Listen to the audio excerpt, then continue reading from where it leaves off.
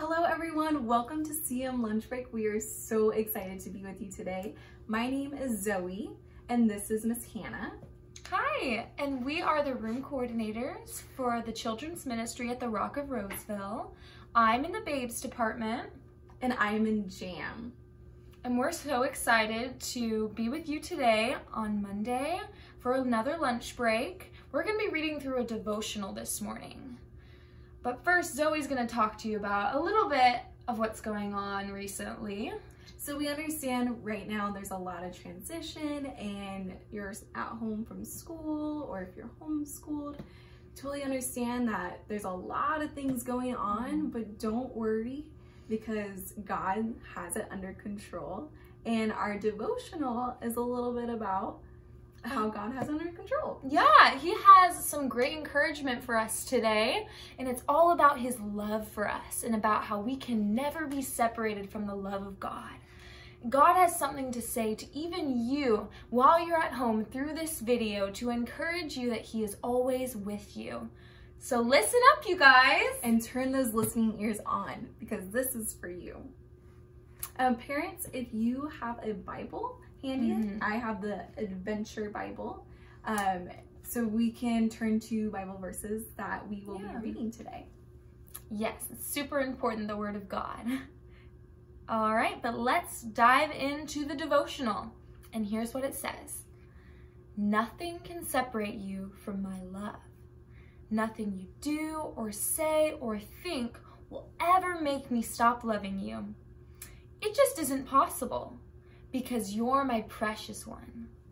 My love is a gift. You don't have to earn it. You don't have to be perfect or even good enough. My love is simply yours to keep. It secures your connection to me, your Savior forever. So our first Bible verse comes from Romans chapter 8, verse 39. Nothing above us, nothing below us, or anything else in the whole world will ever be able to separate us from the love of God that is in Christ Jesus our Lord. Wow. So, when everything is going well and you're happy, enjoy it. Don't worry about when the good might end or what troubles may come later. Just smile and thank me. When things are tough, be brave. I will help you.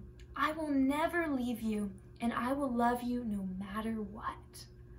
Let's take a moment and thank God for what he's done in our lives that is good. Yeah. So Zoe, can you tell me, what are you grateful for? I'm grateful that I get to be here with you guys. I get to be here with Miss Hannah and just enjoy being outside right now. It has been so beautiful. Yeah, the weather's been great. Yeah. I'm so thankful for spending time with family and friends. Wow. So guys, can you guys think about what you're thankful for? Take a minute and think. Hmm. All right, can you tell us what you are thankful for? and maybe tell your friends or your family around you? Wow, those are some really great answers. So good. It's really powerful to tell God what you're thankful for. I try to do it every day. Yeah. All right, let's keep reading. This is the last part.